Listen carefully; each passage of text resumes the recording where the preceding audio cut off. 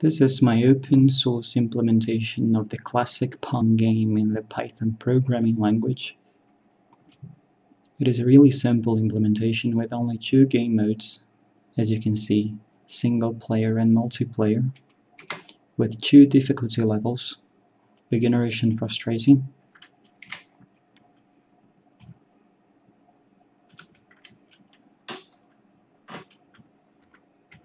The AI is fairly simple as you can see, not only the AI is imperfect, but the collision detection is also imperfect on the edges. It is easier to score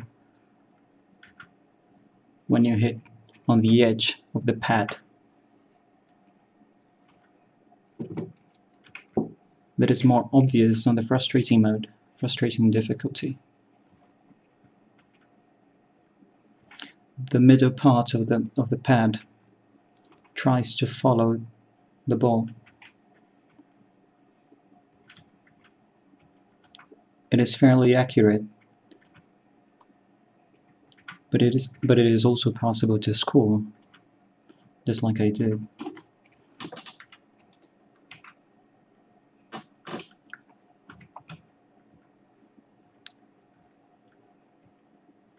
Most of the time, the AI manages to catch the ball.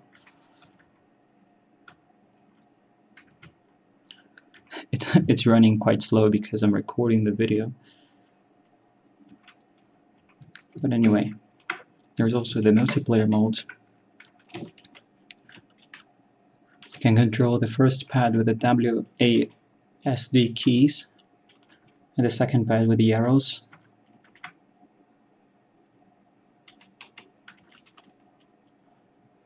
This is the easiest way to implement this game, obviously. There's also the middle line. I've tried to imitate some classic versions of the game with a matching scores for each player. On that classic position, in some versions it, it's on the middle of each part, but, but anyway, it's quite irrelevant. This, this is the code. This pygame, pygame.midi. The sounds, I don't know if, if you've managed to, to listen to them, but, but the sounds are pure, purely MIDI. Here are some constants, some menu constants, some sound constants the sound for the for when the the ball hits the first pad is this constant sound first player and so on. Sound second player sound human scores sound AI scores some pygame specific variables.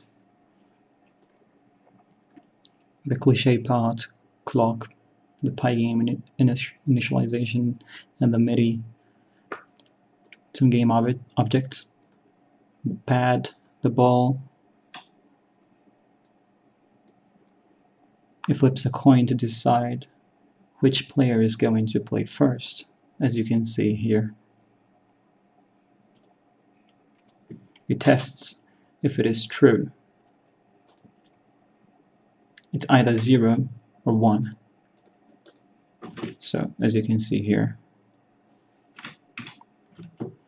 the second player got the ball. Again, again, now me.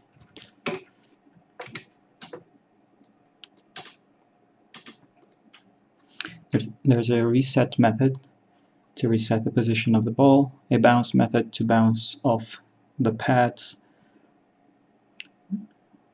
There's a score object as well to define those numbers. The, the, the parameter value defined its obviously its value. There's a menu selector class which defines this selector on, on the menu, this little pad there's also a game class, which is quite a matter of design choice. I could have used global variables, but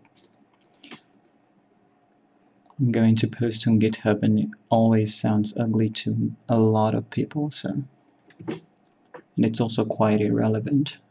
It makes no difference, at least on this case. And there's the handling of the events.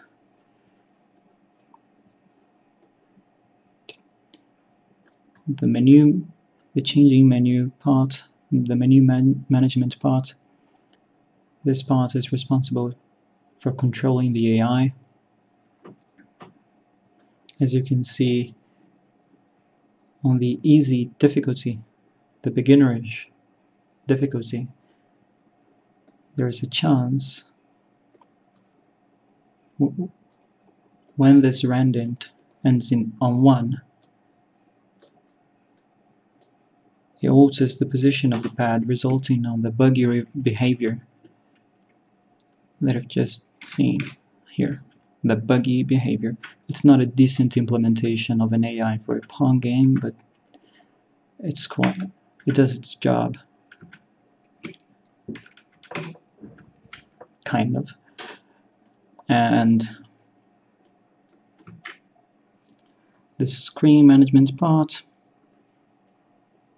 delimiting boundaries for the paddles so that it so that they can't go off the screen. The mathematical part for the for bouncing the ball. And it's just this. Pretty simple. If you want to help me on github with the game implement something fancy like 16 pads with extremely efficient bots online multiplayer, whatever. Feel free to do it. That's it.